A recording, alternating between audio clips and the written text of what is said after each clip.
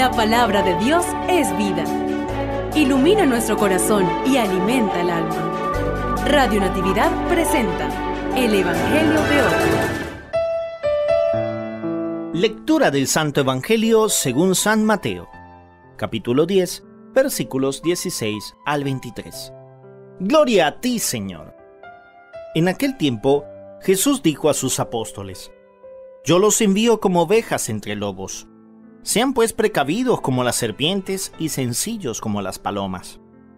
Cuídense de la gente, porque los llevarán a los tribunales, los azotarán en las sinagogas, los llevarán ante gobernadores y reyes por mi causa.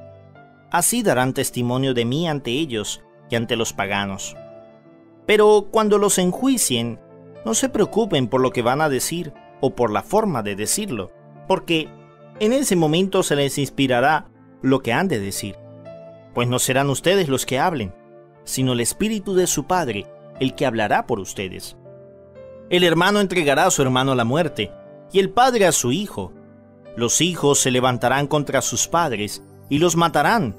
Todos los odiarán a ustedes por mi causa, pero el que persevere hasta el fin se salvará. Cuando los persigan en una ciudad, huyan a otra.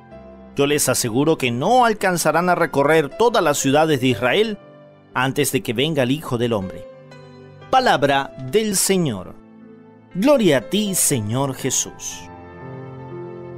Un saludo de paz y bien para todos aquellos que nos escuchan a través de Radio Natividad, la emisora católica del Táchira, donde queremos llevar la esperanza de la buena noticia del Evangelio a todos los rincones de la tierra.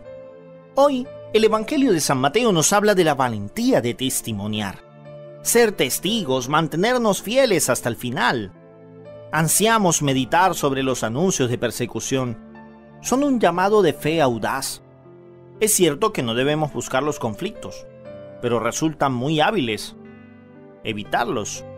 Aquel silencio cuando ante nosotros se ataca a la iglesia, al papa o a un aspecto de nuestra doctrina o moral, o aquella negativa o a comprometernos en acciones a favor de una mayor justicia y humanidad, amenazan con volvernos cristianos tranquilos y apagados. Para las horas difíciles y quizás dramáticas en las que estamos llamados a la valentía de testimoniar, parece que nos quedamos tibios. Jesús nos promete una ayuda excepcional, la del Espíritu Santo. Él actuará en nosotros. El testimonio valiente está más que nunca habitado por el Espíritu. Esto se comprueba en todos los procesos de persecución. Un ejemplo famoso es el de la extraordinaria sabiduría de Juana de Arco frente a sus jueces injustos. La ayuda del Espíritu Santo obviamente no dispensa jamás el aporte humano, pero nuestro testimonio será convincente si nosotros sabemos bien de qué estamos hablando. Si nosotros conocemos nuestra fe, nuestra iglesia, ¿Tú conoces la fe en la cual has nacido? ¿Tú conoces realmente a tu iglesia? Porque, ¿cómo defender algo que no conozco? Y lo triste es que muchos cristianos no defienden a su iglesia porque no la conocen. Y esa es una gran ventaja para el demonio. Querido hermano, conoce tu fe y eso será un motivo también para ser valiente en el testimonio de ella. Dios te bendiga.